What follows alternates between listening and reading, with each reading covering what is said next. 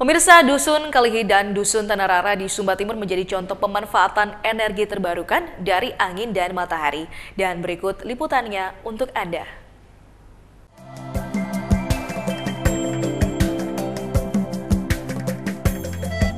Energi terbarukan atau energi ramah lingkungan sejak lama digaungkan oleh sejumlah elemen masyarakat untuk menjadi sumber energi di masa datang. Pasalnya di masa datang energi fosil hanya akan tinggal cerita.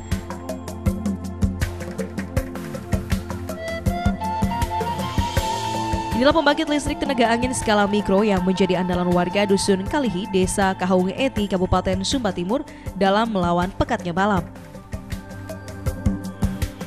Lebih dari 20 kincir atau turbin ini yang terletak di atas perbukitan dijadikan alat untuk menangkap atau menjebak angin untuk menjadi sumber pembangkit energi. Tak hanya Dusun Kalihi, Dusun Tanarara Desa Maubokul, Kecamatan Pandawai juga merupakan dusun yang mengandalkan angin dan matahari sebagai sumber energi.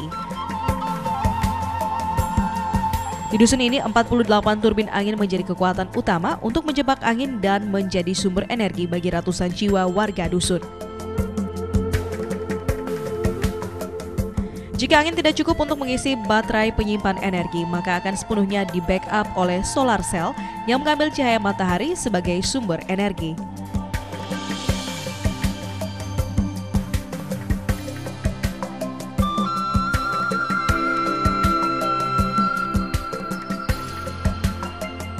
Saat mentari beranjak ke peraduannya dengan energi terbarukan yang unik ini, warga kini bisa melakukan ragam aktivitas di malam hari.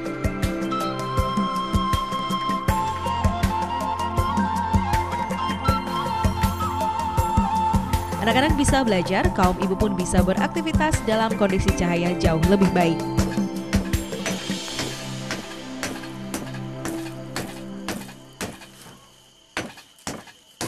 Hmm. Sekitar 200 lah yang mati.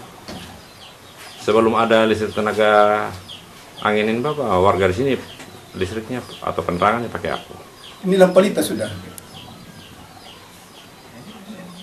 Jadi ini lampu Sering waktu, kedua dusun menjadi viral di media sosial. Lokasi turbin atau kincir angin mulai ramai didatangi warga. Lokasinya menjadi objek foto ragam kalangan, khususnya para kaula muda. Uh, berapa kali bidik tadi? Wih, tidak hitung lah. Tidak hitung. Bisa mungkin mau full juga. Perjalanan juga, wih, butuh tenaga yang lumayan juga. Kalau fisik tidak... Tidak kuat, eh, mungkin langsung pulang kembali ingat. Ada kawan yang pulang? Tidak ada. Untuk sampai semua sih kawan. Tapi sempat ketemu orang yang pulang? Ada juga sampai pulang. Karena Medan juga cukup berat. Tapi, Tapi puas ya? puas. Sayangnya untuk mencapai kedua dusun ini perlu kesiapan kendaraan dan fisik prima dari pengunjung. Lokasi dusun yang terpencil bisa dicapai dengan melalui perpaduan jalan aspal mulus dan pengerasan. Bahkan jika cuaca tidak bersahabat, para pengunjung harus berjalan kaki untuk mencapai lokasi turbin.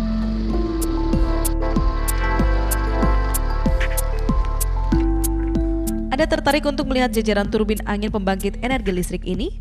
Dusun Kalihi dan Dusun Tanarara siap menyambut dengan keramahan dan keunikannya. Dari Kabupaten Sumba Timur, Dion Umbuana Lodu memberitakan.